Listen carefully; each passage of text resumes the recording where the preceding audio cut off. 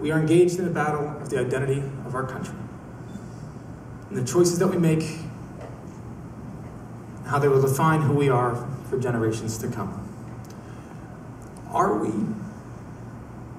clenched and closed, cold and sharp and scared?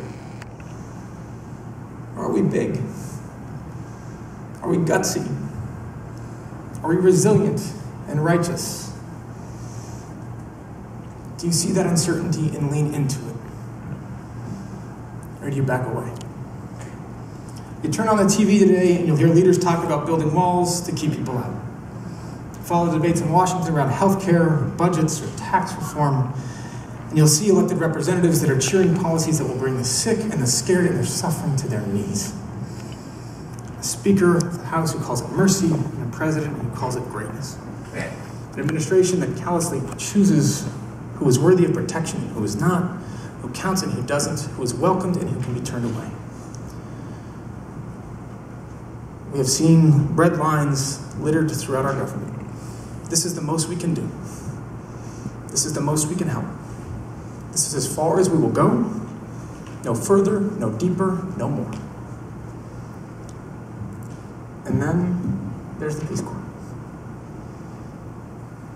Because you all have done and continue to do the exact opposite. Take one look at the globe that is awash in unrest and division and discord and says, Put me in the game. Ask me to help.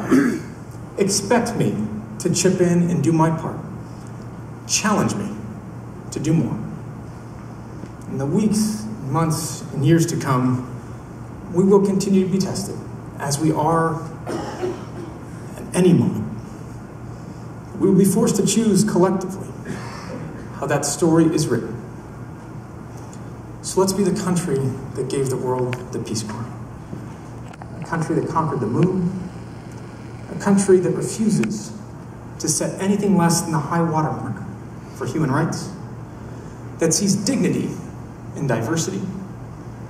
That keeps its promises. That is not just great, but it's truly good.